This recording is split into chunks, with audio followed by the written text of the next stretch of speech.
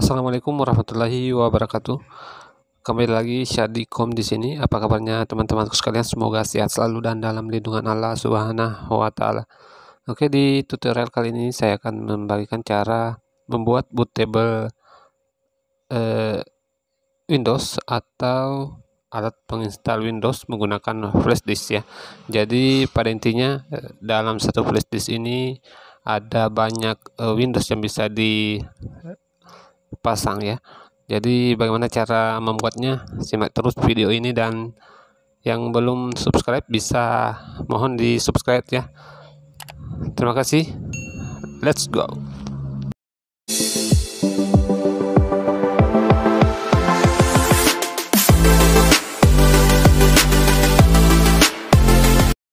Oke, yang pertama-tama silahkan buka browser kalian. Jadi di sini kita akan mendownload eh, IO bootnya ya. Jadi untuk di browsernya ke ketikkan aja AIO boot dan akan muncul tampilan yang bisa di-download ya. Jadi tampilan yang muncul pilih aja di bagian sebelah atas untuk mendownloadnya. Selanjutnya untuk mendownload silahkan eh, klik pada IO boot yang bergaris bawah ya tulisannya seperti yang saya beri tanda panah silahkan klik ya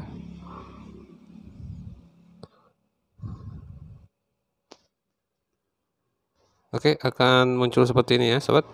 Silahkan klik download di yang warna biru untuk mendownloadnya. Oke setelah terdownload tahap selanjutnya yaitu menyediakan USB flash disknya ya.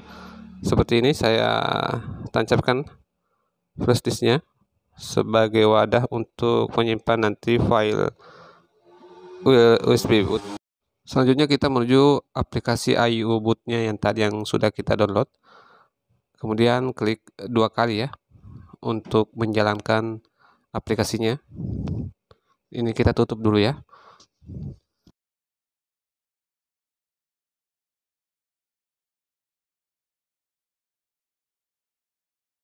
Oke, tampilannya seperti ya aplikasinya. Di sini bisa kita lihat ya. USB flash disknya sudah terdeteksi ya secara otomatis. Jadi jika kalian ingin atau punya tempat atau wadah yang lain bisa diganti ya di sini flash disknya. Jadi selanjutnya kita lakukan checklist ya pada bagian format ke FAT32 kita lakukan checklist jika muncul seperti ini klik OK aja ya peringatan seperti ini klik OK setelah itu klik partisi otomatis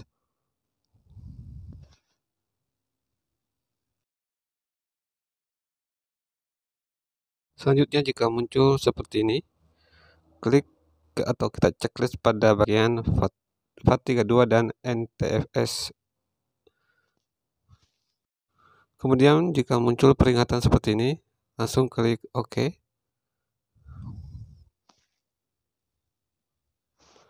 Selanjutnya klik NTFS. Kemudian klik OK.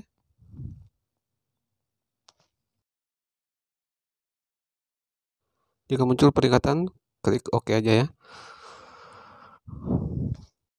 Selanjutnya di sini kita akan menunggu ya karena ini sementara melakukan proses pembuatan bootable di dalam flash disknya. Jadi kita tunggu sampai selesai.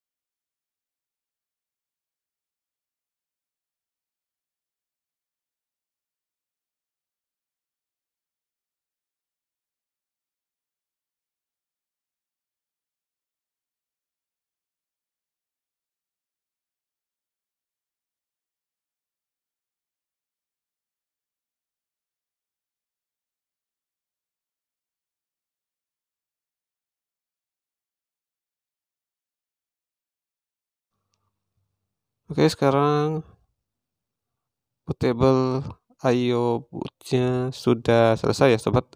Sekarang kita tinggal memasukkan file ISO Windows yang sudah kita download ya dari Google. Jadi untuk mendapatkan file ISO-nya silahkan cari di Google Chrome atau di browser kesayangan kalian. Untuk cara memasukkan file ISO-nya yang sudah kita miliki, yang pertama yaitu kita klik tab integrasi. Selanjutnya di bagian pilih paket, di bagian Windows, kita pilih Windows di sini ya. Di sampingnya kita pilih Windows 78, 1, 10, 11, dan server. Seperti ini ya. Langkah selanjutnya di sini bagian kedua kita untuk memasukkan file ISO yang sudah kita miliki ya. Di sini saya akan memasukkan file ISO-nya ya. Oke, ini. Klik di bagian file ISO-nya lalu klik OK. Jika muncul seperti ini, klik OK. Sementara melakukan pengkopian ya ke dalam iOboot. Selanjutnya apabila muncul tampilan seperti ini, kalian bisa ubah nama filenya nanti ya. Tapi di sini saya biarkan aja. Langsung klik OK aja. Dan kita tunggu sementara mengekstrak. Kita tunggu sampai 100%.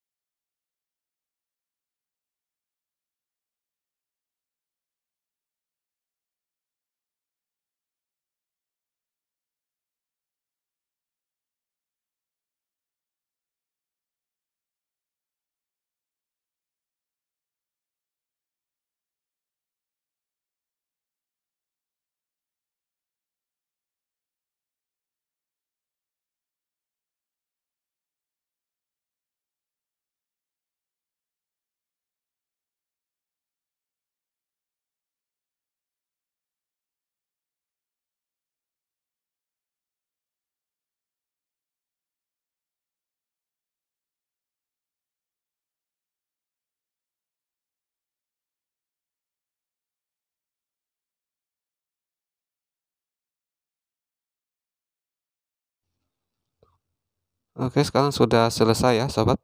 Saya akan diklik OK.